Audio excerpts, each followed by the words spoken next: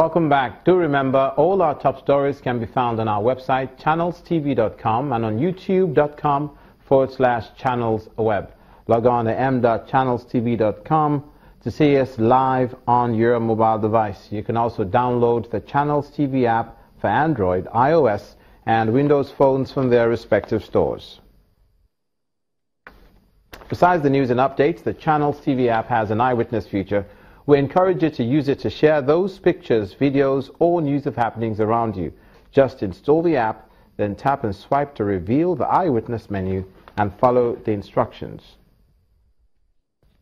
To the South-South, the Bayelsa State Police Command have issued a statement intimating the general public of the detention of a sergeant who mistakenly killed a minor in the line of duty. The unfortunate incident took place in Yenagoa when policemen from the Special Anti-Robbery Squad responded to a distress call of an ongoing cult attack.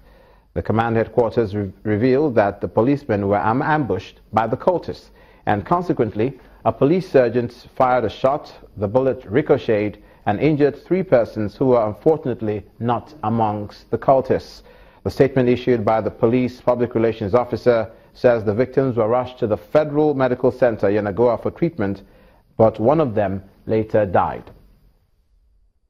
And also concerning law enforcement, this time to the Southeast and the Abia State Police Command have challenged the business community to assist the authorities in securing the state for business to thrive.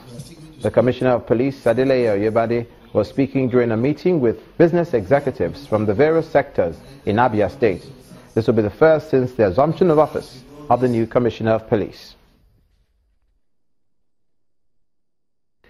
And also concerning the police, this time the outgoing Assistant Inspector General of Police in charge of Zone 5, Mr. Isaac Eke, has charged officers of the Nigerian police force to resist the temptation of corrupt practices in the discharge of their duties. He stated this in his address at a pulling out parade held in his honor at the Samuel Ogbemudia Stadium in Benin City, the Edo State capital. The former Commissioner of Police, Ondo State Special Anti-Robbery Squad, Abuja, retires from the Nigeria Police Force after attaining the mandatory age of 60. Officers of the Nigerian Police Force organized for a special march past at the Samuel Ogbemudia Stadium in Benin City, the Edo State capital. It's a pulling out parade for the outgoing Assistant Inspector General of Police in charge of Zone 5, Mr. Isaac Eke. Mr. Eke leaves the police force after reaching the mandatory retirement age of 60. He offers counsel for those still in active service. I would like to advise the upcoming generation who are currently in service and those who will yet to be enlisted in later years to eschew unholy acts. The unhealthy practices of cutting corners that ultimately lead to dismissal and premature retirement. Every policeman should see himself as the force image maker. Even though the force as police officers appointed as public relation officers.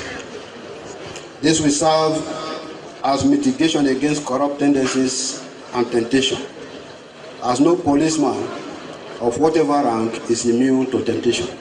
There was time for remarks from close associates as well as colleagues. Everyone agrees that you possess a rare combination of vision, fairness, and understanding, which are crucial qualities for an effective and efficient leader. The detailed attention he often paid to issues that were brought before him, his respect for constituted authority,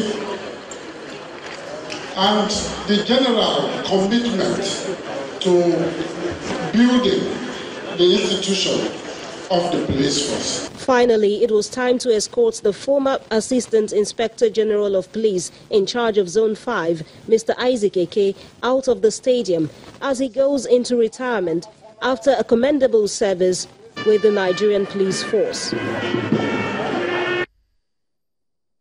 To the armed forces now, the proposed Nigerian Navy University may soon be established in Akwa Ibom State in south-south Nigeria. The Chief of Naval Staff dropped the hint during a courtesy visit to the state governor, Mr. Udom Emmanuel, at the government house in Uyo.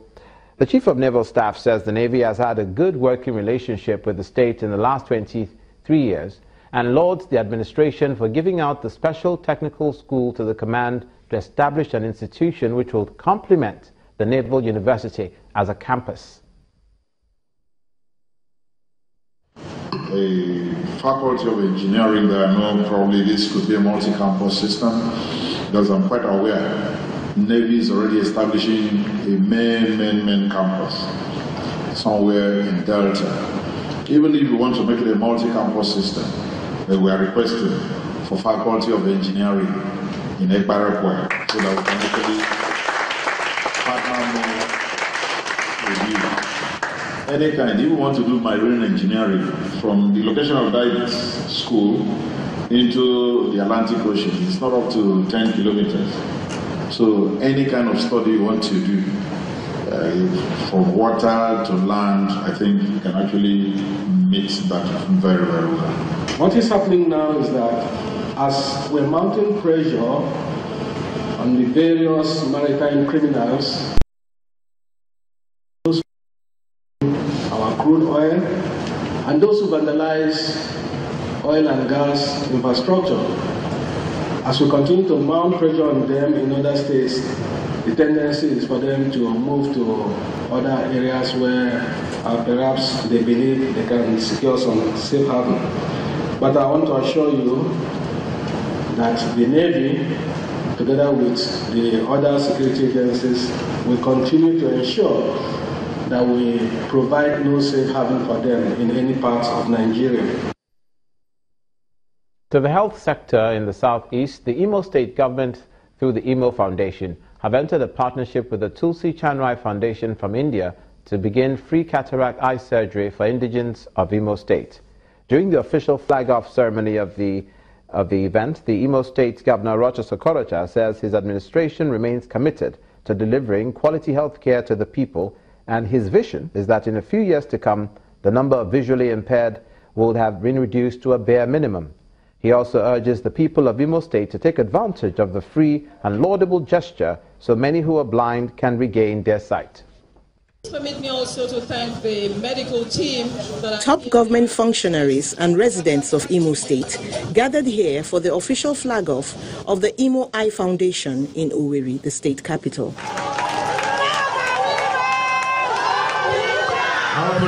One may appreciate the bright day and colorful attire worn by those present. But those for whom they are gathered do not know the day's beauty, nor the variety of colors due to impaired vision. The end of their condition, however, begins today. We have over 80,000 blind people in Imo State, and we have over 10 million blind people in the Federal Republic of Nigeria. But like the Tulsi Chanrai have said, in partnership with them in the next 15 years, there shall be no more blind person in Imo State. With these words, the governor of the state flags off the program for free cataract and other eye surgeries for the less privileged in the state. But that's not all the foundation is about.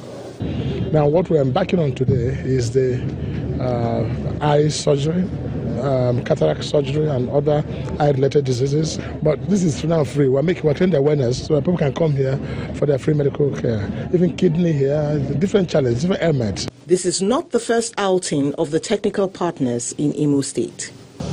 We were here for about five to six years from 2005 to 2010.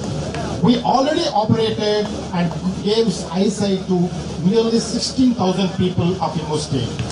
The Owerri Eye Center boasts modern equipment and surgeries have already begun here. The state government has also set up a trust fund to select those who qualify for treatment, namely the very sick and poor in the community. You're watching news across Nigeria. Coming up, cancer awareness in Cross River State.